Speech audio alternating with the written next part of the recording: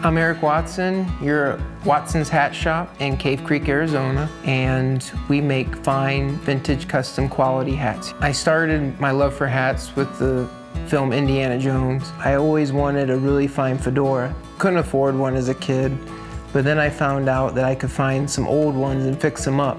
So that's what inspired it all, and, and it snowballed from there. The biggest risk was starting my business. I looked at my wife one day and said I was gonna make custom hats. She's like, I don't care what you do, as long as you help pay the bills. So I quit a full-time job that I had. I had $500 in my pocket. That was it. And it was just me starting in that little 500 square foot building. I'm a very persistent person. if I set out to do something and my heart's in it, I'm gonna get it done regardless. From there, Watson's Hat Shop was born, really.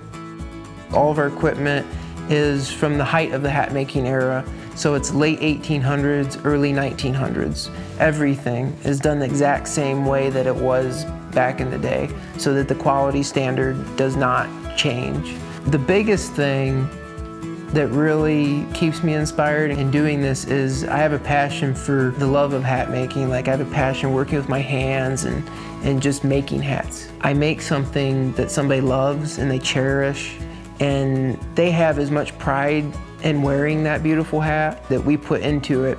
We had a gentleman that came in from Iowa. He saved his money for five years and finally came in today, paid cash. It was in fives and tens and whatever. But he's like, I am ready to get that hat. And so he's just so thrilled and happy. So here at Watson's Hat Shop, we have clients from all over the world. So to make sure that the hats are properly packaged and shipped, we want to make sure that we use the UPS store because we trust them.